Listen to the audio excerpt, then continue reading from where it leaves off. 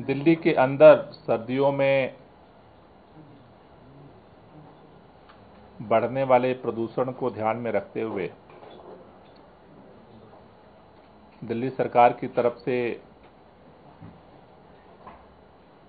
Winter action plan बनाया जा रहा है, जिसके लिए हमने 5 सितंबर को पहली दिल्ली के अंदर 30 विभाग जो अलग अलग प्रदूषण को नियंत्रित करने के लिए कंसर्न है, उन सभी विभागों के साथ ज्वाइंट बैठक की थी, जिसमें अलग अलग विभागों को अलग अलग लक्ष्य दिया गया था। विंटर एक्शन प्लान में तैयार करने के लिए। 15 सितंबर को दोबारा इन विभागों की ज्वाइंट बैठक हुई और सभी विभागों ने अपने अपने एक्शन प्लान को पर्यावरण विभाग को सौंपा। पर्यावरण विभाग के द्वारा 15 पॉइंट 15 सूत्री एक्शन प्लान पर काम किया गया है। दिल्ली सरकार का विंटर एक्शन प्लान अब बन करके तैयार हो चुका है। 30 सितंबर को माननीय मुख्यमंत्री अरविंद केजरीवाल जी, इस 15 सूत्री एक्शन प्लान को दिल्ली के लोगों के सामने रखेंगे। और उसी एक्शन प्लान के आधार पर सभी विभागों के साथ मिलकर के सर्दियों में बढ़ने वाले प्रदूषण को नियंत्रित करने के लिए हम काम करेंगे। इस बार commission for air quality management की तरफ़ से भी ग्रैब सिस्टम में थोड़ी थोड़ी तब्दीलियाँ हुई हैं। दिल्ली के अंदर हम एक अक्टूबर से जो एयर क्वालिटी मैनेजमेंट कमीशन की तरफ़ से जो एडवाइस दिए गए हैं, उनको भी मद्देनज़र रखते हुए अपने विंटर एक्शन प्लान में अपनी कार्य योजना हम बना रहे हैं। मुख्य तौर पर जो पहले से और अब में जो परिवर्तन हुआ है,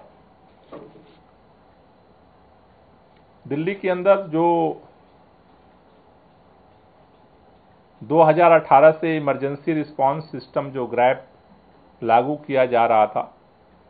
उसका जो बेसिक आधार था, वो पीएम 2.5 और पीएम 10 हुआ करता था।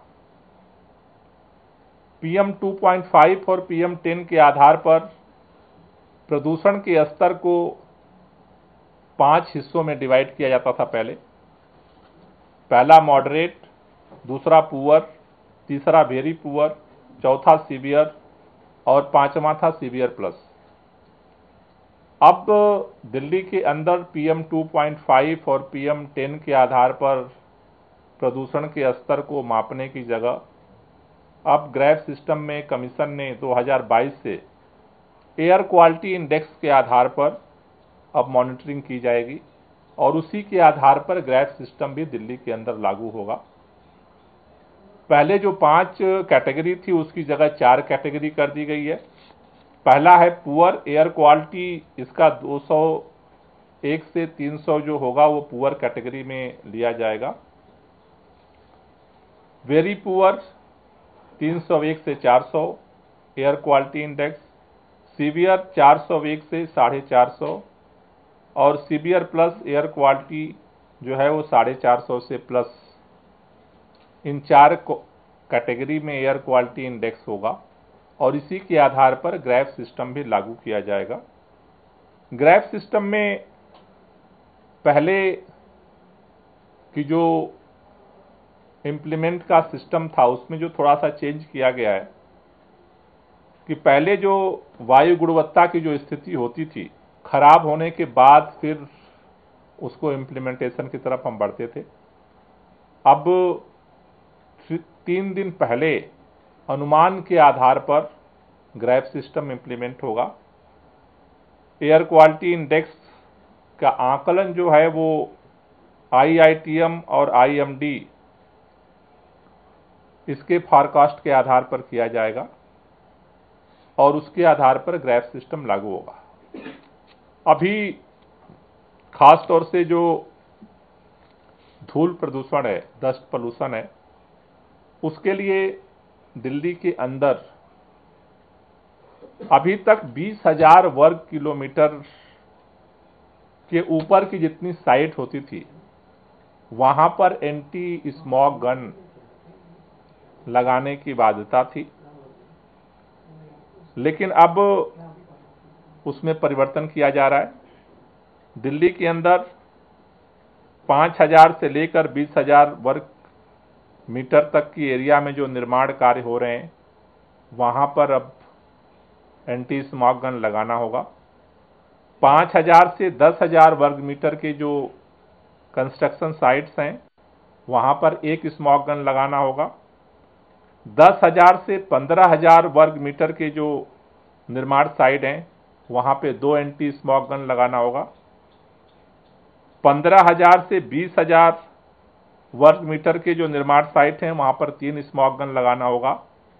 और बीस हज़ार वर्ग से ऊपर के जो निर्माण साइट हैं, वहाँ पे चार स्मॉक गन लगाना होगा। तो दिल्ली के अंदर कल मैंने डीपीसीसी के सभी अधिकारियों के साथ बैठक की थी। दिल्ली के सभी कंस्ट्रक्शन साइट्स पे काम करने वाली एजेंसियों के साथ पिछली बार भी हमने मिल के काम किया था अवेयरनेस काम किया था। आज मैं आपके माध्यम से उन सभी लोगों से अपील करना चाहता हूँ, ये जो स्मॉक गन लगाने का जो नया प्रावधान है, अब पाँच हज़ार से शुरू हो रहा है तो इसको ज़रूर आप फॉलो करें, क्योंकि विंटर एक्शन प्लान के तहत जैसा हम हर बार